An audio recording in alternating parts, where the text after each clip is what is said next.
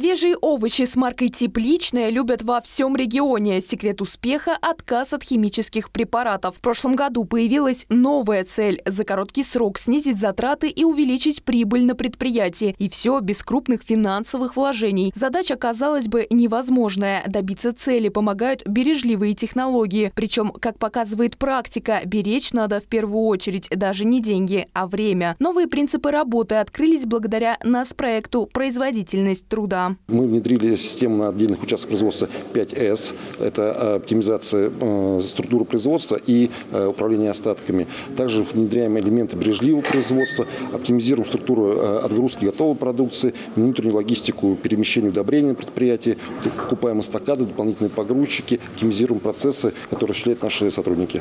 Для сотрудников организовано дополнительное обучение. Его проводят специалисты регионального центра компетенций. Программа рассчитана на три года. В результате предприятие достигнет желаемого повышения производительности труда на 10% ежегодно. Обучение происходит непосредственно на предприятии. Это три дня полноценных.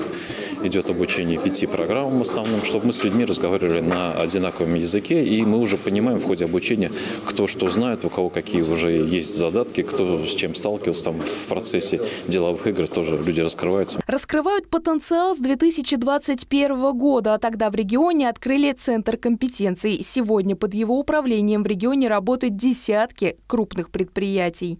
В применении инструментов бережливого управления обучено уже 580 сотрудников промышленных предприятий и представителей органов исполнительной власти Ульяновской области.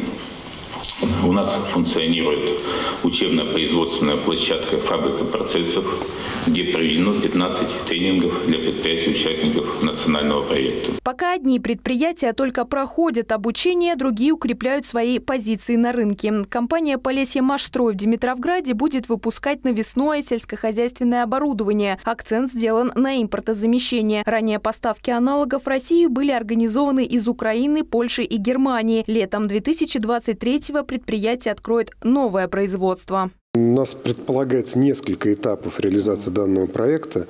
А, ну, первый этап мы уже с лета этого года начинаем э, сборку крупноузловую и с каждым месяцем уровень локализации мы будем увеличить. По плану, к концу 2024 года предприятие должно локализовать производство сельхозтехники в Димитровграде минимум на 90%. Идею поддержали коллеги из Белоруссии. Данная техника пользуется хорошим спросом и в России, и в Казахстане.